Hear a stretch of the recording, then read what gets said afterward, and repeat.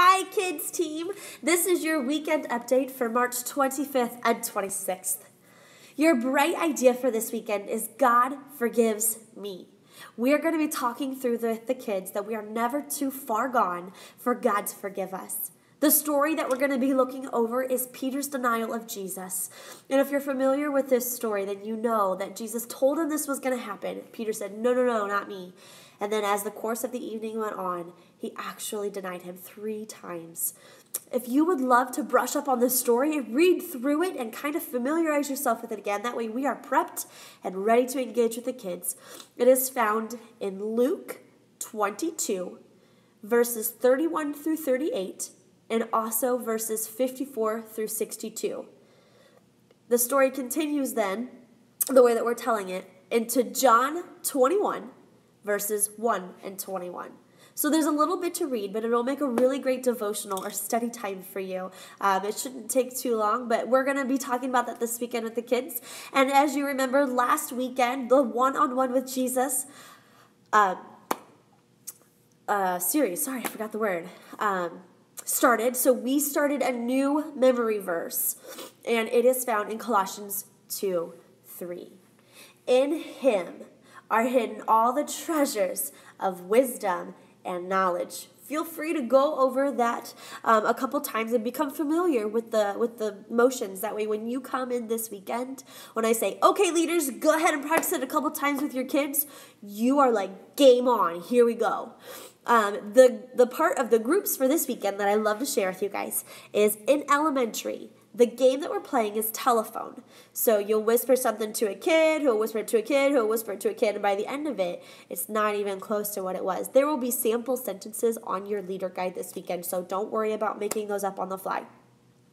Um, the song that we're singing is Rise and Sing in elementary.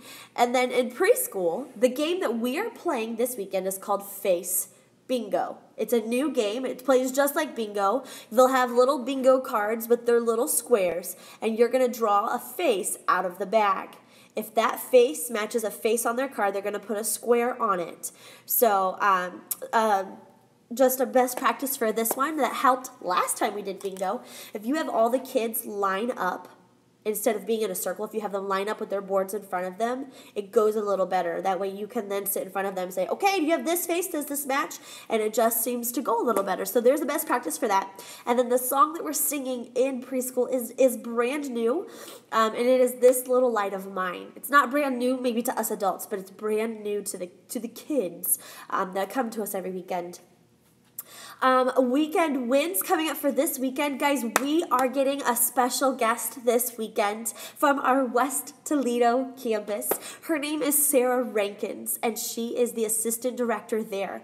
They have so graciously said you can have Sarah for Sunday, so she'll be down here helping us run Sunday. She'll pop in and out of um, large programs and teaching, and really, um, she is fabulous. She has great ideas, she has great information. So um, ask questions to her um, and just really help me welcome her to our team on Sunday and then make sure that we all say thank you because they had the, you know, just to rearrange some of their own um, things so that way she could so graciously come down here and serve with us. But um, a practical thing for us. So we have been focusing on connection for um, a while now. But here's something that I want all of us together as a team to band together and do. I want to challenge each one of you to learn two new family, not maybe necessarily brand new, but two sets of parents' names that you don't know. They can be brand new families. They can be maybe families that are newer, that's been coming a couple weeks, or maybe a family that you know the kid really well, but you have no idea what the parents' names are. I would love for each one of us to pick two sets of parents and learn their names. That way, when they come back, we could say, Hey, Krista, how was your week? How are things going for you? It just helps them feel like we see them and we love them like we do, but it helps them know that we do. So that is the, the weekend win that we're going for. I would love for all of us to have two sets of parents learn their names um, that you don't already know. And then um, this week, I would love for you to pray with me that God would move in our hearts through this Mark reading plan. Um, if you weren't here last weekend, we are reading through Mark as a church. Um, just that God would move in our hearts as we are reading through Mark and as we are getting ready for Easter. Um, that's going to look different for each and every one of us. God is, has us in our unique journeys, but just if we could pray that God would move inside of our hearts and maybe show us something new. That's been my prayer, um, and I would love for you guys to join me in that. Um, as you know, Easter is approaching. We are about, ooh, I think three or four weeks out, I forget. But Easter signups are coming. They're going to be online like they were for Christmas, um, and that live link is coming up soon. So, um, if you want to stop and chat with me this weekend, um, what I'm going to do is have like an unofficial kind of thing that if you already know what you want to serve, you can tell me.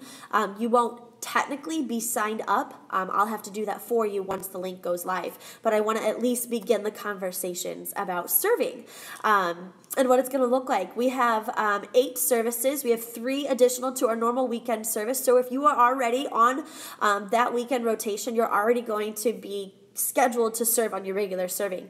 Um, but guys, as, as you know, as we went through Christmas and even Easter, it is a blast serving together. We bring in food, and it's just a great time of camaraderie and hanging out, all while serving brand new families.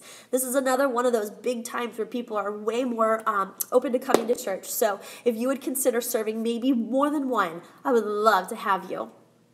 And then um, my encouragement for this week. I have been um, I've been reading through the Mark reading plan, which just started Monday. So we're today's Tuesday two days in.